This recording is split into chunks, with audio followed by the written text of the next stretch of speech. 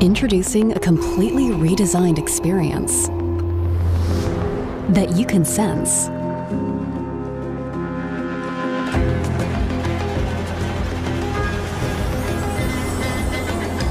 And that senses you. The new Dell Latitude laptops bring your work closer to you.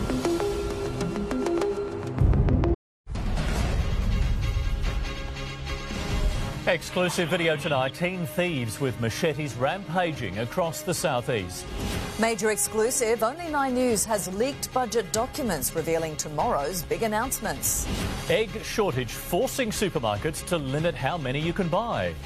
The simple key to avoiding July's internet price hike. The cheapest electric vehicles in the world coming to Queensland. Our special tribute to Gibbo, TV's King of the Kids. And Olympic places on the line as Australia's best swimmers hit the water in Brisbane. This is Nine News Queensland with Andrew Lofthouse and Melissa Downes. Good evening. A gang of six teenagers is running riot, terrorising parts of Logan and the Gold Coast for three straight nights. The machete wielding group breaking into homes, stealing luxury cars, and causing thousands of dollars in damage to a Daisy Hill business. And tonight, only Nine News can bring you video of their rampage. A quick rev of the engine, then bang. The ute packs a punch, but it takes not one, not two, but three rams in the stolen ram ute to bust in.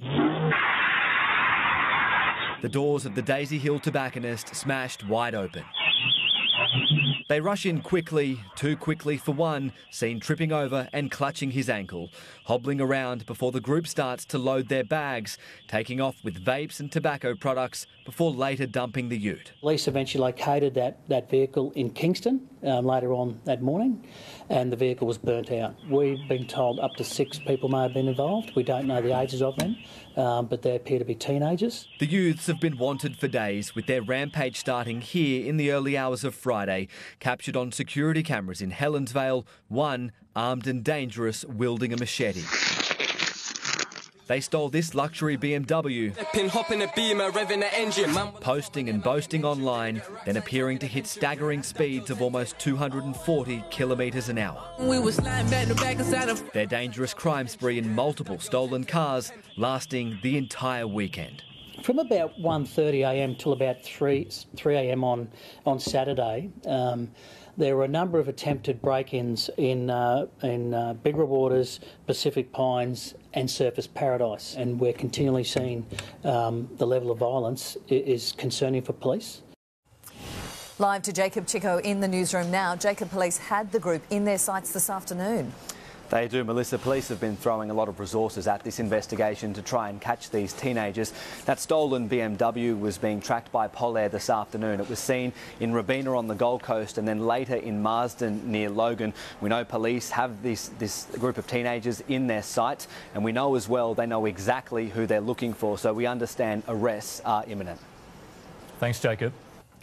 To exclusive breaking news out of Queensland Parliament now, where state political editor Tim Arvier joins us live. Tim, the state budget will be revealed tomorrow, but you've got leaked documents tonight. Yeah, that's right, Andrew. These papers make up the state budget, which will be handed down tomorrow, but we have the details here tonight. We can read you from there what is also has not been announced yet. We have heard many of the details already about the state budget, but now what Queenslanders have not been told is that there is going to be tomorrow. The Queensland budget will be headlined by a record health spending. Health spending. There will be 4.393 billion extra over four years. This is going to increase the operating budget up to 26.71 billion for Queensland Health, an increase of 10.6%. The budget papers say this is to address ongoing demand and cost pressures and that is needed because the budget papers also reveal some of the missed targets within Queensland Health, specifically elective surgery, the number of patients treated on time. The goal is to have 98%. They've achieved 86.8%. Ramping, the goal is to have 90% of patients off stretcher within 30 minutes. The budget papers say what was achieved was 59.7%.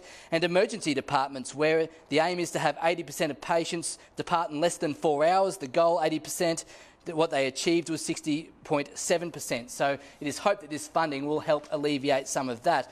There is also the cost of living measures. We've seen uh, the $1,000 energy rebates that was brought forward into this year's budget. Also going forward, 50 cent train fares, as exclusively revealed by Nine News, there will be 20% off car registration, $200 sport vouchers for children, and first home buyer stamp duty concessions up to $800,000. But all this spending comes at a cost, and that is increased debt.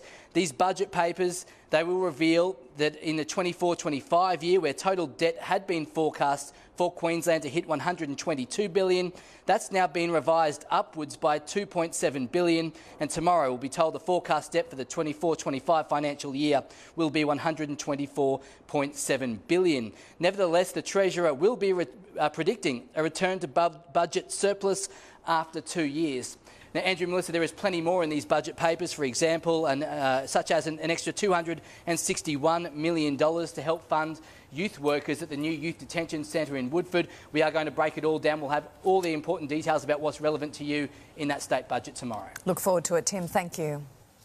Desperate senior police and paramedics are calling on Queensland drivers to slow down as the state heads towards an unwanted record road toll. Two people have died in just the past few days, including a three month old baby. It's unrecognisable. A Toyota Hilux Trayback ute, the latest in a series of crashes across the southeast. The passenger in this ute was ejected. She and the driver are now fighting for life. And police say that driver was under the influence of drugs. Put it this way, the last week um, across the state has been a horror story on our roads. This scene less than 24 hours after this crash at Forest Lake. Two vehicles, both drivers 200 metres from home. Five people injured in total, and they're all still in hospital. The fact that no one was killed in that crash is an absolute miracle. The engine block of this Mercedes ripped from its bolts. Police say it was doing in excess of 150 kilometres an hour. An engine block out of a car, it's not because you've got a very speedy mechanic. Obviously, speed was involved in that. And a tragic update a mother lost her life in this crash at Caboolture last week. And today, a three month old boy who was in the car with mum sadly lost his. It's absolutely tragic. A young woman and her very young child have lost their lives. Queensland's current road toll is sitting at 134 deaths, 15 more than this time last year. Senior officers used to warn drivers to slow down, but it's now become far more desperate. We're in a position where we are begging people literally begging them to put driving and the driving task at the top of your list when you get in that car. The medical director of the Queensland Ambulance Service agrees with police. Take your time, don't have, don't have a road traffic crash. We don't call them accidents. They are crashes. They're very avoidable. I've personally lost too many relatives and friends to car accidents. I want to see it stop. People need to slow down. People need to obey the road rules. People need to stop drink driving. Live now to Peter Fegan at the Royal Brisbane and Women's Hospital. Peter, you've got some exclusive details tonight on the investigation into that horrific crash at Forest Lake. I do, Andrew. Nine News can tonight reveal that police are now investigating whether or not drugs or alcohol played a part in that crash. They strongly suspect it did. Andrew, as for the driver, he is tonight behind me in hospital, suffering from multiple injuries. So police haven't been able to speak to him yet. They're hopeful that they can interview him tomorrow, get his version of events. But I am told, Andrew, that charges are extremely likely. As for the other four that were injured in this uh, horrific crash, they too are in hospital tonight around Brisbane. Melissa, they too are suffering from multiple injuries, including burns. Melissa, all the result of a crash that police say one was avoidable, but also one of the worst they have seen in some time. Melissa? Thanks for the update, Peter. A Brisbane Christian college has expressed its regret more than two years after making national headlines over a distressing enrolment contract, forcing parents to sign off on their children's gender. Tonight, parents who took the fight to the Human Rights Commission are welcoming a resolution. Helen Clapham Burns was a teacher and a parent at Citipointe Christian College. I um, withdrew my son's enrolment and I resigned on the Monday and was heartbroken when this occurred. In 2022, the college released an enrolment letter.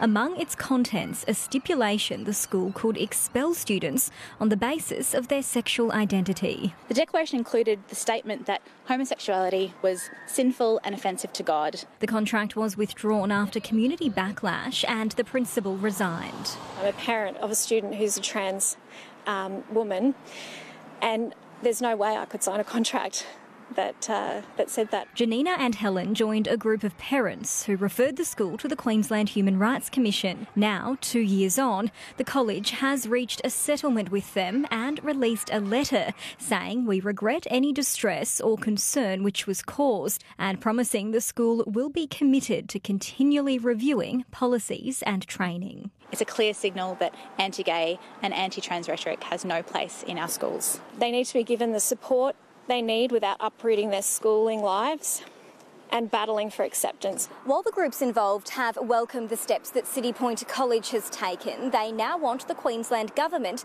to take action to strengthen the state's anti discrimination bill to protect teachers. Is there any update on the um, anti discrimination um, changes in relation to Citipointe?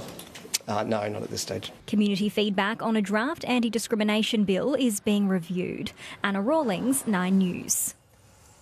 From sporting legends to musicians and medical professionals, more than 700 Australians have been included in this year's King's Birthday Honours list. Among those, 111 Queenslanders, each recognised for their significant contribution to their field. They come from all corners of the country, but have one thing in common their commitment to their cause. Glenn McGrath can now add an 08 to his list of accolades. 15 years since the first pink test for breast cancer, in memory of Jane. I think she'd be really proud to look around and see everyone supporting it. Legendary golfer Peter Senior also recognised for service to his sport. The Queenslander won 35 titles over his five decade career, even winning some after the age of 50 before he retired in 2016. Hamish Blake has been thanked for making Australia laugh. Thank you. Brisbane based John Collins, Powderfingers bass guitarist, honoured for his work and service to the music industry. Also from Brisbane, Sarina Russo, synonymous with this famous tune.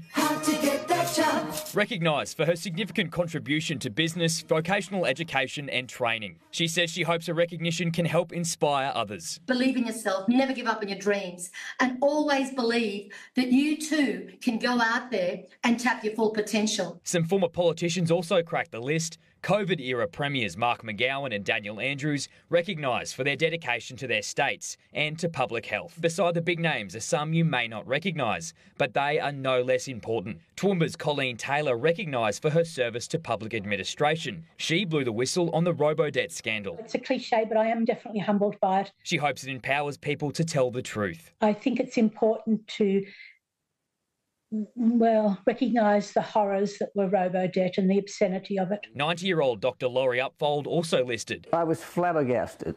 He helped pioneer hearing tests for infants and later worked on the rollout of a new invention, the hearing aid. I didn't believe that it would do the job it was supposed to do, but it did. Edward Monet was recognised for almost 15 years of voluntary work, using rugby league to help connect Indigenous communities in Queensland. It's not about the accolade of what I do. What's more important is that I'm creating an opportunity and a pathways for the future generation of Queenslanders. Former Wallaby Richard Marks made the list too, the Brisbane man recognised for his contribution to rugby union and keen to see it back to the top. We've still got the talent. Uh, we just have to work on it a little bit harder and we'll get back up there. Others have already been up there. 75 year old Ruth Wilson. I'm feeling fantastic. Floated over the Swiss Alps in a hydrogen balloon. I was standing leaning over the wicker basket trying to see the snow covered tips of the Swiss Alps in the dark and thinking, what am I doing here? Each of these Australians comes from a different walk of life, but they've all given us something to inspire us, to cheer for, and to delight in for generations to come. There's a lot more work to be done. Um, there's a lot more work that we need to do as a, as a, as a people and as a state. I'm sure that uh, yeah, the future does hold a lot of optimism for us. Pat Heaney, Nine News. Israeli Prime Minister Benjamin Netanyahu faces mounting pressure tonight after a key member of his war cabinet quit and called for an election date. Minister Benny Gantz announcing his resignation while accusing the leader of mismanaging the war. We are going to go for elections, and at the end of it, we'll have a government that will have the confidence of the people.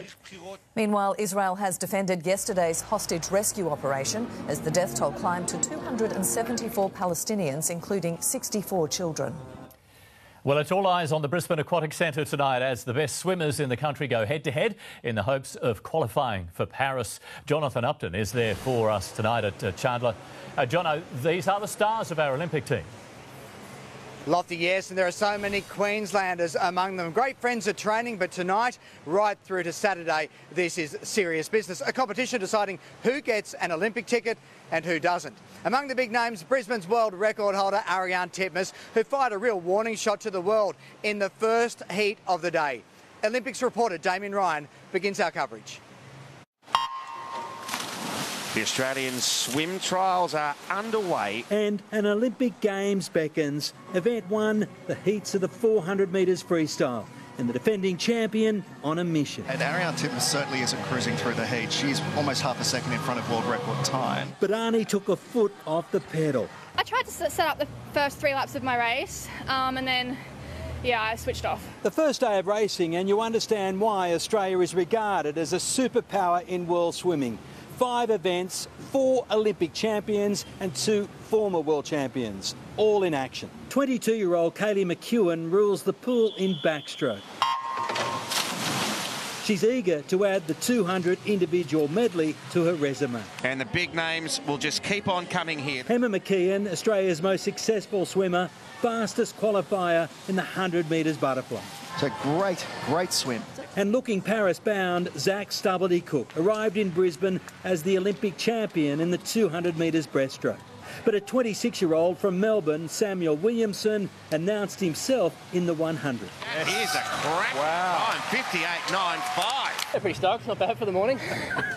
Blow the cobwebs out, keep him honest, and just yeah, see what I can do really. In the 400 metres freestyle, the favourites Elijah Winnington, very very strong heat swim, and Sam Short will battle it out in tonight's final. He may be a former world champion, but Sam concedes here he's just another face in the crowd. It's amazing. I mean, you walk around pool deck and you see legends everywhere you look. In Brisbane, Damien Ryan, Nine News. So now it's sudden death. First or second should book you a place on the flight. One of the key finals tonight, Ariarne Titmus Pet event, the 400 metres freestyle. She's obviously thrived during the St Peter's Western camp that took place up in Cairns. Her time in the heat today suggesting we might see something special tonight. So we'll see some jubilation. We'll also see heartbreak for those who miss out, of course. And Look, we have six days of it. I'll be back later for sport, including a full preview of night one with another Queensland swimming great, former Olympic gold medalist, Giaan Rooney. Lofty. Great week ahead. Thanks, John. I can't wait. The egg supply scramble.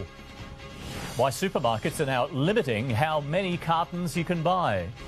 A tourist's wild rampage in Bali, accused of stealing a truck and crashing through a toll gate.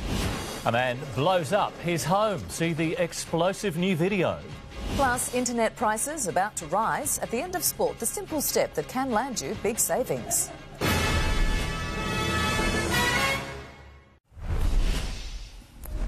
Shoppers are being urged not to panic buy eggs, with shortages now affecting two supermarket chains. Triggered by an avian flu outbreak at five Victorian farms, there's a warning tonight that supply shortfalls could last more than six months.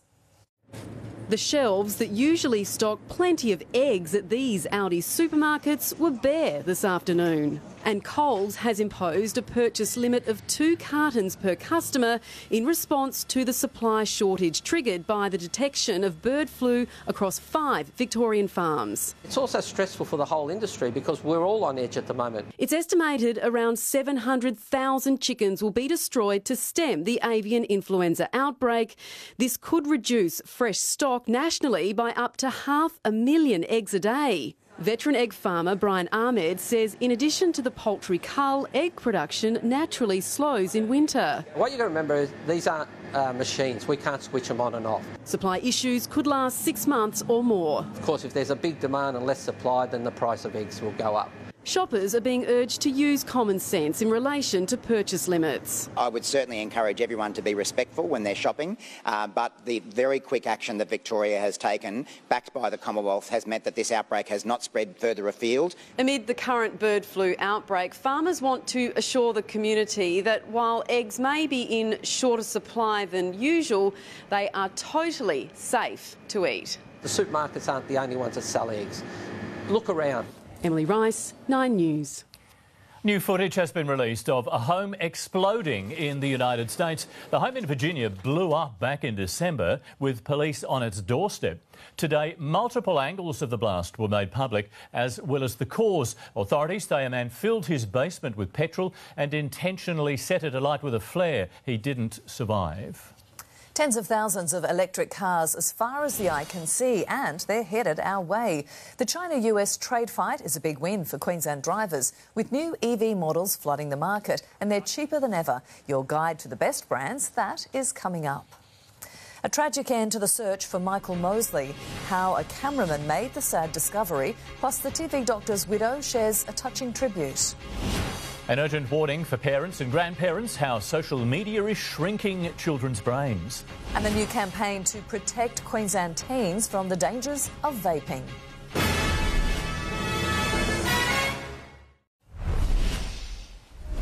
TikTok is tonight being used to try and persuade millions of Australians to give up smoking and vaping for good.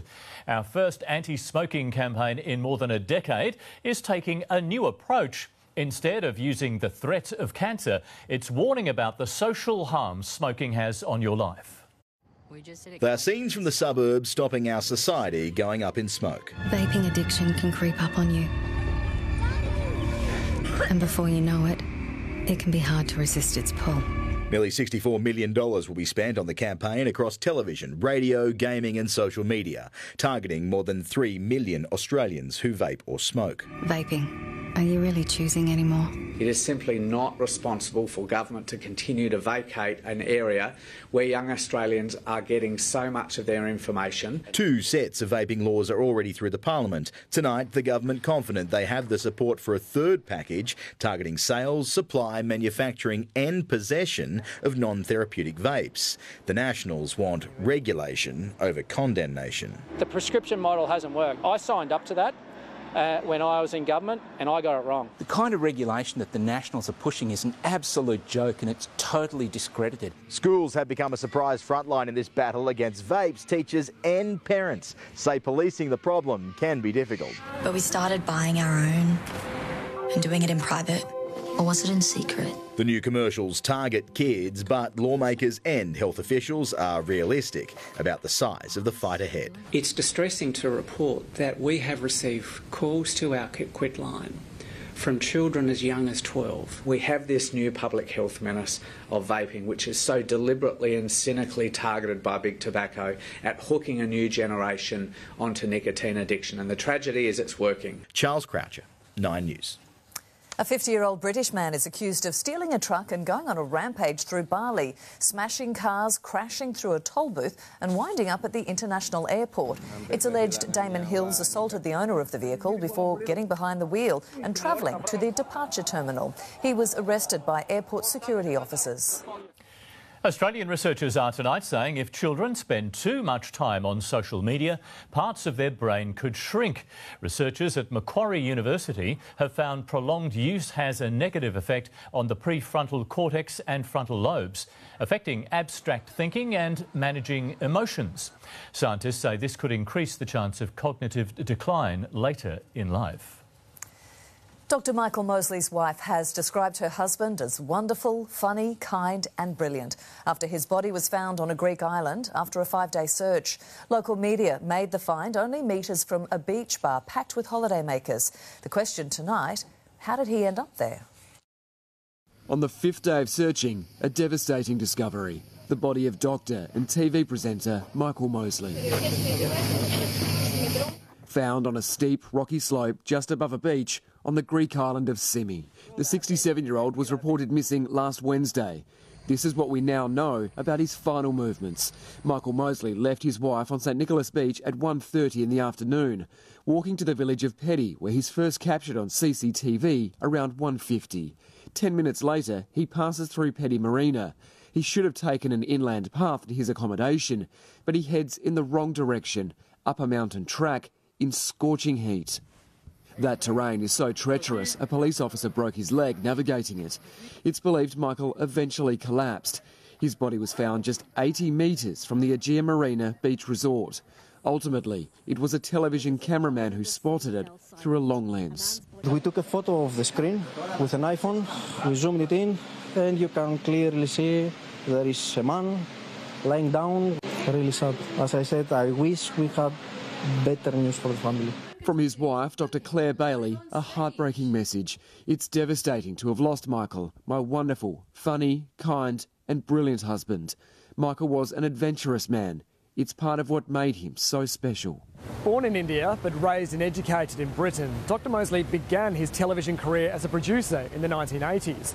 He eventually took his talents in front of the camera and into living rooms all around the world. Today, tributes for the man behind the famous 5 2 fasting diet. From Jamie Oliver. Absolutely devastating news. What a wonderfully sweet, kind, and gentle man. One of Dr. Mosley's final projects, working with Australians to improve our sleep. He had a, great sense of humour, he was down to earth, exactly how he appears on camera. He's very much going to be missed uh, by not just my team, but everyone who interacted with him or read one of his books or watched one of his programs. Work that changed lives, now his legacy. In London, Edward Godfrey, 9 News. Brisbane's King of Kids TV passes away at the age of 69. Tonight we pay special tribute to Michael Gibbo Gibson. Car makers flooding Queensland with cheap EVs, your guide to the best new brands. And the hero pilots who managed to land through broken glass.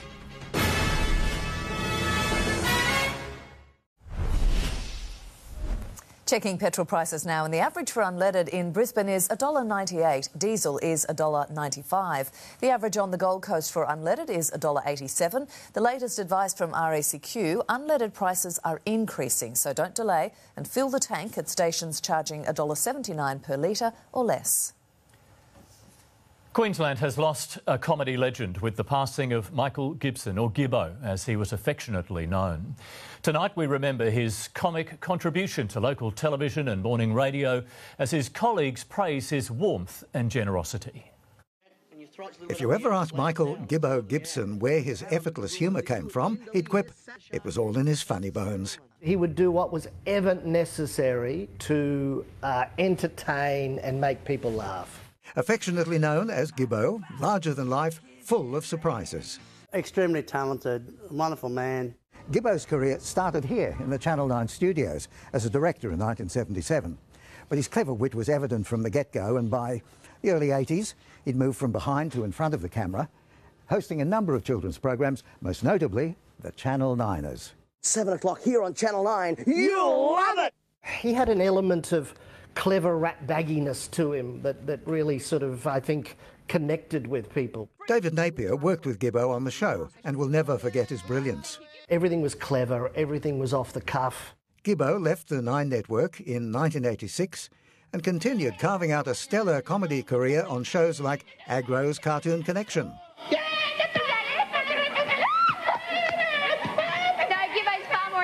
more entertaining than I could ever be. You just watch him. In the 90s, he was one of the comedy maestros behind the top rating B105 breakfast radio program, working with Jamie Dunn, Ian Skippen, and Robin Bailey. He just made you laugh. The way he looked, you know, that big beard and, and the way he didn't really care about what he wore. He just was this wonderful person. King of the kids on and off the telly. Everyone had a good time! Not just a funny man, but a devoted father of two and loving husband to wife Carol. Gibbo was diagnosed with dementia 18 months ago. He'd been in a nursing home. He died in hospital on Sunday night following complications. He was 69. His legacy will be always enjoy what you do, laugh at everything, and, you know, make the most of it. Bruce Page, 9 News. Well, no nose and a shattered cockpit windshield. This Austrian Airlines Airbus A320 has copped a battering. It was trying to land at Vienna Airport when it flew through a storm cloud and was pummeled rather by large hailstones. The aircraft was badly damaged, but no passengers were injured. A Maroons enforcer set to spend extended time on the sideline. That's coming up in sport. Plus, we're back live to the Olympic swimming trials. Will our Golden Girls book their ticket to Paris? At the end of sport, internet price hike warning, plus the simple step to help you save big on your bills. And what a great start to the week. The cool mornings and mild sunny days are set to continue. Perfectly clear in the city this evening. It's currently 17 degrees. Your full forecast not far away.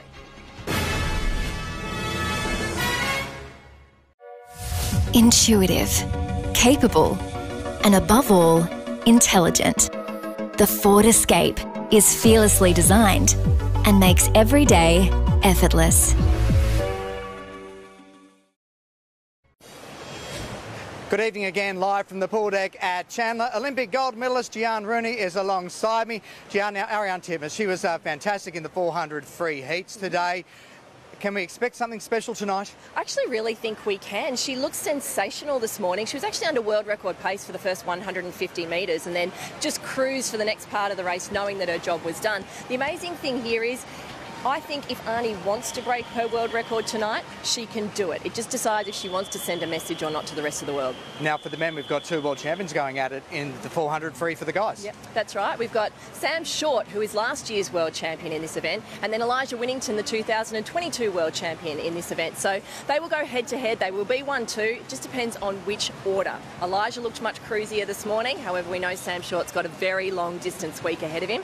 But remember, we've got so many Olympic gold medalists in the pool tonight. We've got Emma McKeon, Kaylee McKeown, Zach Stubblety Cook, and we've got Brenden Hall, who is vying to make his fifth Paralympic team. So it's just exciting across the board. So much to look forward to. I know you have commentary duties. We'll let you go. Enjoy night one of six. Thank you Good so luck. much. Thank you. Giaan Rooney. Let's go to the rest of the day's sport now. And let's go straight to Ben Dobbin in the newsroom. Dobbo, you have details on the future of Dolphins hard man Tom Flegler tonight.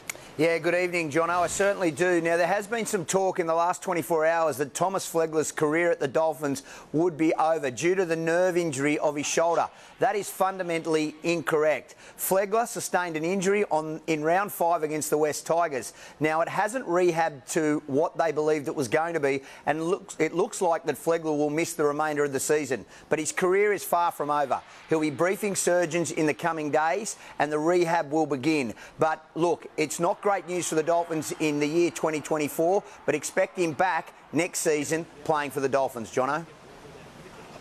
Thanks very much, Ben. Well, the Dolphins' newest signing drew the media to Redcliffe today. Problem was, Tevita Pangai Jr. was a no-show for his first day of training. The former Broncos and Bulldogs enforcer telling the club he's sick. Nine News understands he also recently retired boxer Arthur is managing a slight hamstring strain. It's awesome. I'm, I'm excited to have him. He's a he's a wrecking ball, and um, it'll be be good to, to get him out on the field with us.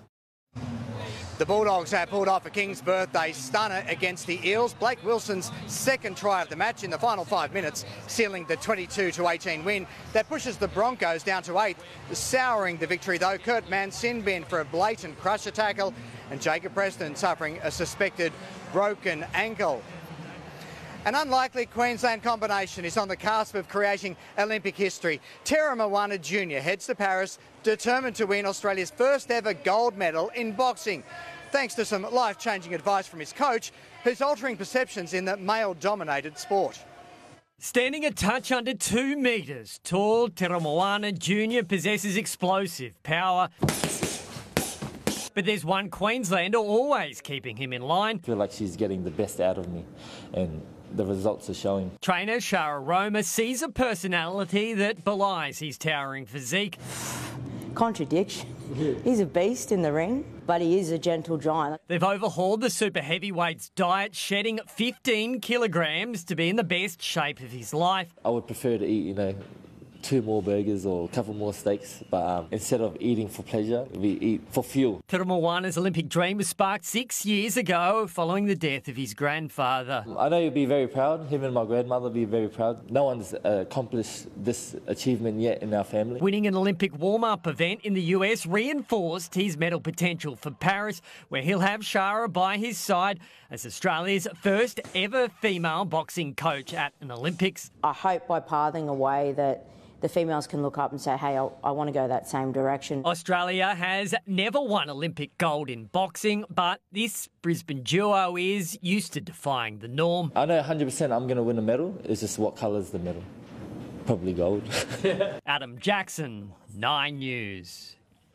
He was dubbed the next Rafael Nadal. Now Carlos Alcaraz has the clay title to prove it, defeating Alexander Zverev to win his first French Open title. The 21-year-old Spaniard fought back from a set down to claim victory in a four-hour marathon, becoming the youngest man in history to win a Grand Slam on all three surfaces. But it was already. It was a wet and wild day out for Formula One drivers at the Canadian Grand Prix.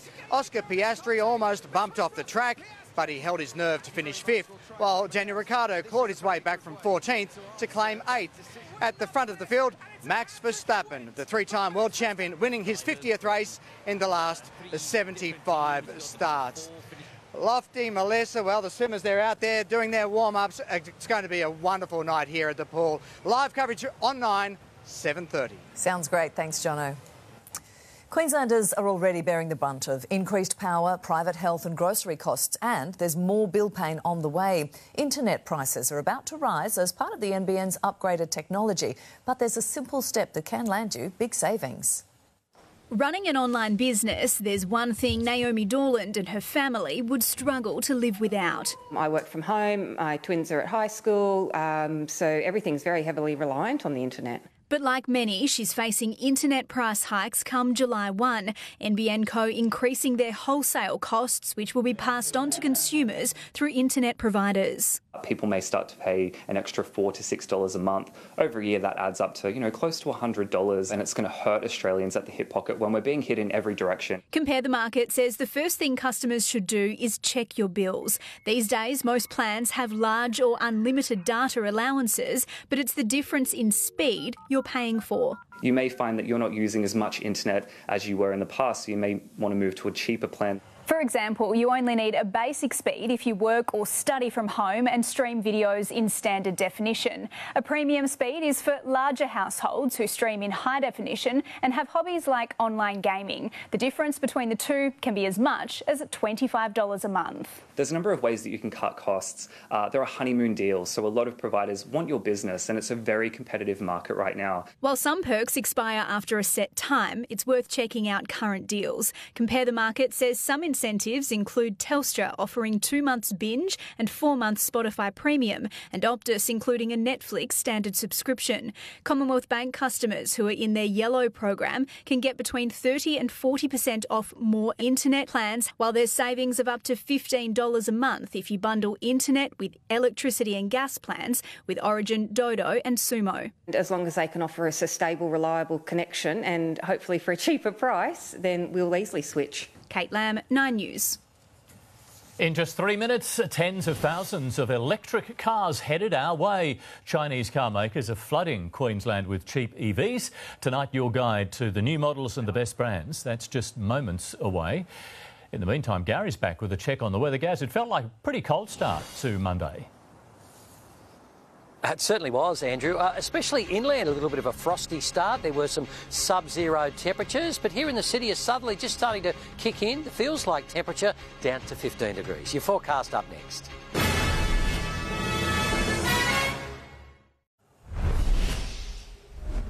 Classic Australian made vehicles like Fords and Holdens are being replaced by a wave of little known Chinese car makers. More than half a dozen manufacturers have announced plans to sell electric vehicles in Australia in the past month, and they'll be cheaper here than almost anywhere else in the world. A sea of electric cars all coming from one place. Hundreds of thousands of Chinese electric cars are now being bought each year in Australia, and the dam has burst. Many more are on the way. In the last month, seven new Chinese car makers have announced they're on the way. Within the year, you'll see cars with these badges on Australian roads. And it's not just Chinese brands, it's global brands building cars in China. The battle is over. China is now the world's electric car powerhouse. Year to date in 2024, over 80% of all electric vehicles sold in Australia were made in China. And for political reasons, we're getting them cheaper than other countries. The death of the Australian car manufacturing industry has opened the door to the booming Chinese market. And Drive Director James Ward says that means value for buyers. These cars are produced at such low costs and at high scale that the European and the US manufacturers can't actually compete like for like. So those governments are imposing tariffs on the importation of cars to protect their industry. We don't have an industry to protect, so the gates are open at the moment and Australian buyers are the ones who benefit. This BYD seal is a good example. It's selling in Australia for about $50,000. But if you were to buy it in Europe, you'd be spending more like $90,000 equivalent. Well, frankly, that's a really, really good story for Australian buyers. We are taking advantage of the value that's being represented in these cars. Chris Kohler, 9 News. Switch on a Daikin Alira X split system with advanced streamer technology to remove more than 99% of harmful indoor air pollutants and surround yourself with cleaner air this summer. Daikin, perfecting the air. Well, Gary Youngberry's back with your full weather forecast now. Gaz, the city's looking good in green and gold tonight. Oh, it certainly is, Melissa. How good is that? The Story Bridge lit in green and gold. There'll be multiple landmarks uh, around the city this week lit up in green and gold. Of course, it's all part of the Australian swimming trials that kicked off right here in Brizzy today as we count down to the Paris Olympics. But you can catch all the action live and free on 9 and again we'll hit the pool from 7.30 this evening. Now, how good is winter in southeast Queensland? Talking of swimming, if you want to jump in the ocean, it is pristine at the moment, clean and still 22 and a half degrees. Now, it's a little bit warmer than what tomorrow morning's temperature will be. We'll get to that in just a moment. Let's have a look at temps recorded across southeast Queensland over the past 24 hours. And a bit frosty inland this morning. We had lows of minus one recorded in Warwick and Oakey. Uh, we had two degrees in Ipswich this morning, 11 here in the city. Daytime temperatures were slightly up on average, 23 in Brisbane, 24 the top in Ipswich, 22 for Coolangatta and the Goldie, 23 Redcliffe, the Sunshine Coast, Toowoomba 17. The weather map, strong winds, showers and rain gradually easing over South Australia, southern New South Wales, Victoria and Tassie. With a passing cold front, there'll be welcome snow for the ski fields. They should see about 20 centimetres in the next 24 hours and maybe another 10 into Wednesday. They certainly need it. For the capitals, showers in Perth and Adelaide, windy and wet for Melbourne and Hobart tomorrow, frosty morning for Canberra, early cloud in Darwin, clearing to a top of 28 degrees.